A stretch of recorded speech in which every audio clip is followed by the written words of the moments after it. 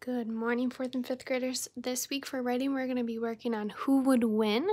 Again, last time we worked on dinosaurs, this time we're going to be working on sharks. So we are going to read a book called Who Would Win? Hammerhead versus Bull Shark. Who would win? Hammerhead versus Bull Shark by Jerry Pallotta, illustrated by Rob Bolster. What would happen if a hammerhead shark came face to face with a bull shark? What if they were both the same size? What if they were both hungry? If they had a fight, who do you think would win? Great hammerhead shark. Its head has a strange shape. A mako shark is the fastest swimming shark. Remember this. Fish have gills, not lungs. A megamouth shark. A recently discovered deepwater shark with a huge mouth. A bull shark. This shark has attacked more people than any other shark. Whale shark. The largest fish in the world. Look at how long that one is compared to the other ones. Great white shark. The famous movie star needs no introduction. Tiger shark the garbage can of the sea. It eats almost everything. Fact sharks are saltwater fish, which means you can find them in the ocean. Scientific name of the great hammerhead. Meet the great hammerhead. It can grow to be 20 feet long and can weigh 1,000 pounds. Hammerhead sharks are easy to identify because they have a head shaped like a hammer. Fun fact scientists call hammerhead Call the hammer shape head a cephalofoil. Did you know the largest hammerheads have a head that is three feet wide, eyeball to eyeball? That's really long. Hammerheads look scary, but they hardly ever attack humans. Scientific name of a bull shark. Meet the bull shark. It got its name from its stocky shape and unpredictable behavior. It is an aggressive shark that lives in shallow water, preferring water less than 100 feet deep. Female bull sharks grow to be 12 feet long and weigh 500 pounds. Interesting fact great white sharks often get blamed for bull shark attacks. Did you know? Because they live in shallow waters, bull sharks are more dangerous to people than great white sharks or tiger sharks, sharks which prefer deeper waters so they are more dangerous to people because they like swimming in shallow water. There's a big group of hammerhead sharks. Hammerheads hunt by themselves at night. During the day, they migrate in huge schools. Bull sharks prefer to be alone. Bonus fact, despite their solitary nature, bull sharks sometimes hunt in twos. Shark trivia. The bull shark has many names. So many names. Look at all those.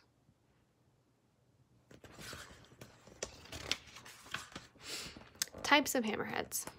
Fun fact the funny shaped head allows them to have more sensors. Hammerheads can smell better and sense fish better than other sharks. There's a bonnethead, great, scalloped, and smooth. Did you know some other hammerhead species are the scoophead, golden hammerhead, whitefin hammerhead, winghead shark, and scalloped bonnethead? So there's lots of different types of hammerhead sharks. Bull shark travels. Bull sharks swim in shallow coastal waters. They often swim into estuaries and up freshwater rivers. So sometimes they don't need salt water. They can swim all the way up where that lake is showing right here. That's how far north they have been in the United States, which is really close to us. Wisconsin is right here. A bull shark was found 1,000 miles up the Mississippi River. A bull shark was caught 3,000 miles up the Amazon River, all the way over here. So they swam all the way there. Using DNA testing, sharks in Lake Nicaragua, South America, and sharks in the Zim Zambezi River, Africa, have been identified as bull sharks. So these sharks sometimes live in the river.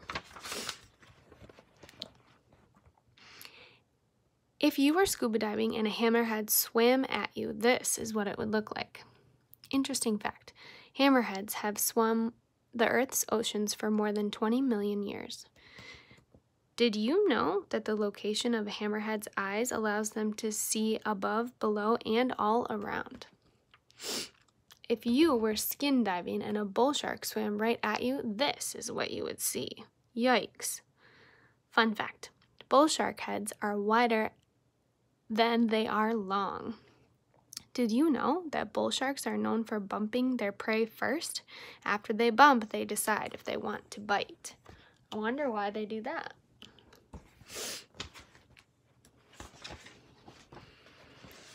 Here's the all the different types types of shark tooths. So here's what a hammerhead tooth looks like.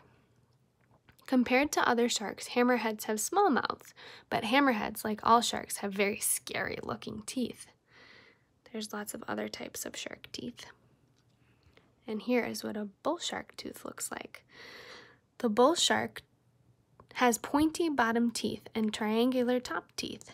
Its mouth is like a knife and fork. The top teeth hold the fish it catches, and the top jaw goes back and forth and cuts like a saw. There's some other shark teeth as well.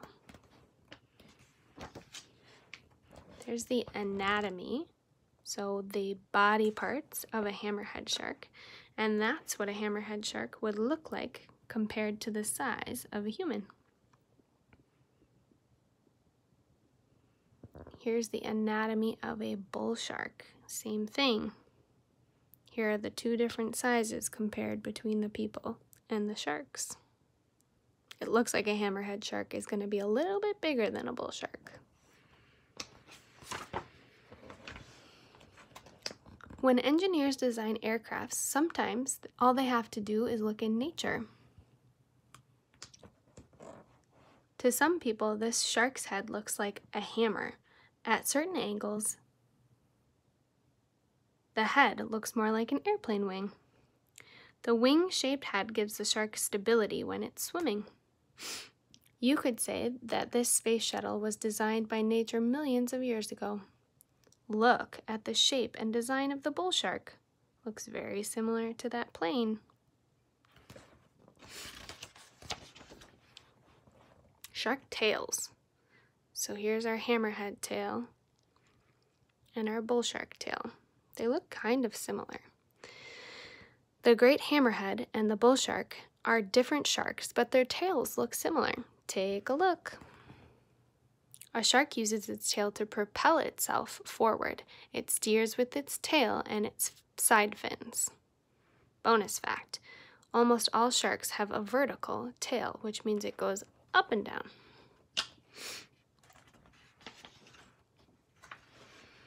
Shark friends. Sharks and pilotfish are friends. For example, pilotfish eat parasites off the shark's skin. Pilotfish get to eat the shark's leftover food scraps, and pilotfish stay safe from predators by swimming with the shark. Shark hitchhikers.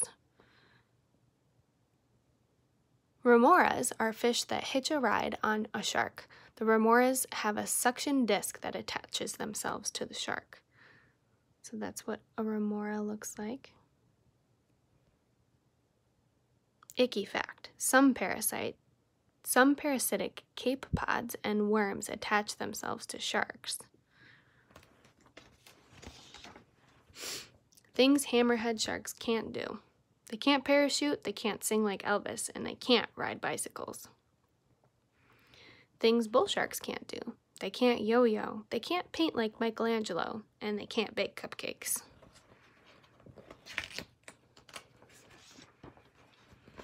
A giant hammerhead is cruising along. A bull shark is looking for food.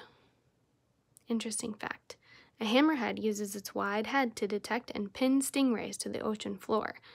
They are its favorite food. The hammerhead sees the bull shark, but it is not interested. Huge sharks are not his type of food. The hammerhead looks for something smaller and easier to eat. The bull shark feels threatened and it's not afraid to pick a fight. He swims right at the hammerhead.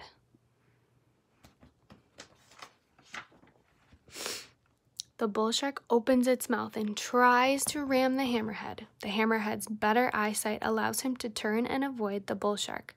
The hammerhead dodges away. The bull shark is angry and darts at the hammerhead again. The hammerhead ducks. Both sharks are excellent swimmers. The bull shark attacks again, but this time bites the hammerhead's tail. The hammerhead turns to defend itself, but the bull shark catches a piece of the hammerhead's tail and rips off a chunk. Sounds like a scary fight. The hammerhead is bleeding and can't swim as fast. His blood excites the bull shark even more. At full speed, the bull shark rams the hammerhead and knocks him off balance. The bull shark bites into the hammerhead a few more times. The hammerhead is defeated. The bull shark will eat him. Other sharks in the area can smell the meal. The bull shark won today. Maybe next time these two species meet, the hammerhead will recognize the danger right away.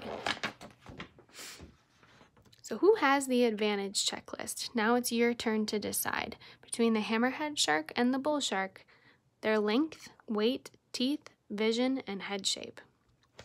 This is what might have happened in a fight. How would you write the ending? So now it's your turn to take what you learned in this and research some more tomorrow to find out which shark you think would win between the hammerhead shark and the bull shark. Let's make it a great Monday, fourth and fifth graders.